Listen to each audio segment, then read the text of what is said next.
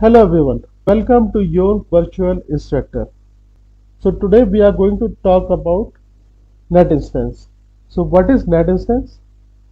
A NAT instance provides network address translation. So you can use the NAT instance when you want your resources uh, which are residing in a private subnet to communicate with the destinations which are outside your virtual private cloud such as it could be the internet or it could be some resources on the on-premises network. So this is frequently required uh, when suppose you have some EC2 machine in your private subnet and you want to download the patches from the internet or you want to communicate the private EC2 instance with outside world or to any third-party software. So you can take the help of NAT instance. So though NAT instance is the outdated concept and today most organizations prefer to use NAT Gateway, which is a managed service provided by AWS. But still, some, some organizations prefer to use NAT Instance. So this is a typical architecture which we are going to follow into this lab. So we are going to deploy a VPC and inside the VPC we are going to deploy the one public subnet and one private subnet. And we are going to deploy one NAT instance in the public subnet which is which uh, which will be able to communicate to the outside world using the internet gateway. And also we'll be deploying one ec2 instance in the private subnet. And also there will be one ec2 instance in the public subnet so that we can ssh into the our private ec2 instance. So let's jump into our lab for today. Here i'm in my aws console. And if i go to the vpc dashboard i already have my vpc deployed this I deployed for AWS VPC Lab. Also, I have two subnets already deployed and associated with this VPC. One is the private subnet and one is the public subnet. Private route table allows only the communication from the VPC and it is associated with private subnet. And public uh, route table allows the communication from the VPC as well as from the outside world through the internet gateway and this table is associated with the, our public subnet. Also, if I go to the EC2 dashboard, so public EC2 is deployed in the public subnet and private EC2 is deployed in the private subnet. So let me connect to my private EC2 via my public EC2 machine.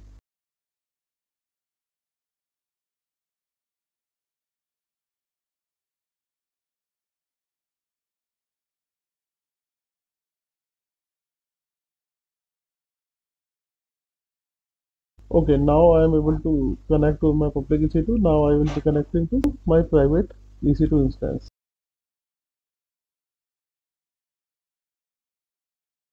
So I have already followed all these steps in my previous lab. So here I am connected to my private EC2 machine. If I go here 145 and here you can see the IP is ending with 145. Now let's deploy the NAT instance.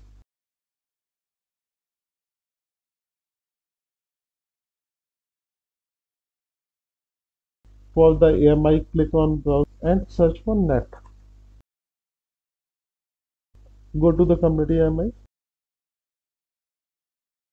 and you can go with any uh, with anyone with the verified provider and which uh, has the configuration x86-64.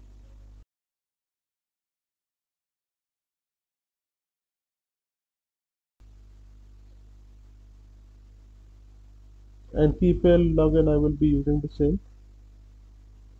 Network setting.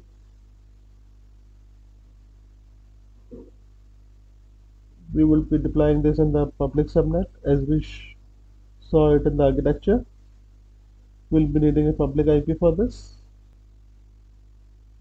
And we will be creating a new security group for this.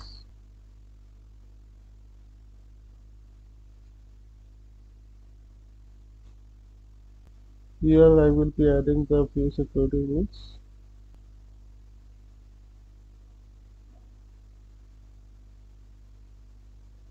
so first will be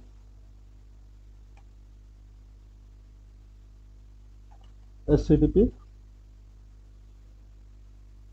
and the source will be from the local VPC. Again HTTPS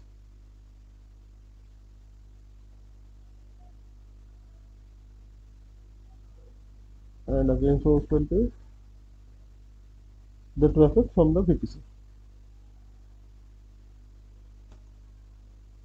And ICMP to test the ping command and so source will be the local VPC.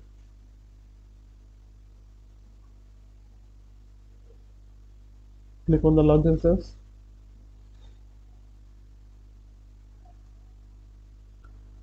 Okay, so now our NAT instance is ready. Now we'll go to the VPC dashboard and go to our route tables.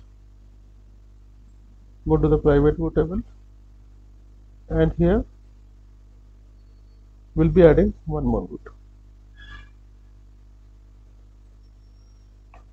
So what is the whatever the traffic to the outside world that means to this CIDR range should be through the our NAT instance. Let's save the changes. Now let's try to ping.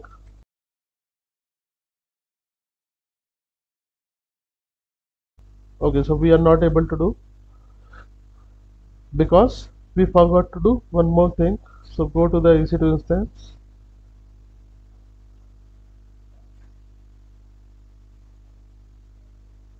Select the NAT instance go to the action networkings change source destination check. To use this machine as a NAT instance we have to disable the source destination check. So you should be disabling the source destination checking when the source or destination is not itself and it is sending the traffic on some other instance behalf check the stop checkbox click on save. Now let's try that. Now as you can see we can ping google.com now if I do curl.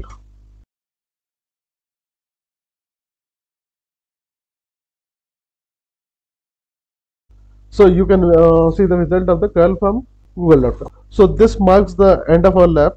Now let's remove our resources which we don't need it further. So let's uh, terminate our NAT instance. Now go to the VPC go to the route tables go to the routes and now go to the security groups. Okay so this marks the end of our session today. So thank you for joining and i hope to see you in more videos. Thank you and have a good day ahead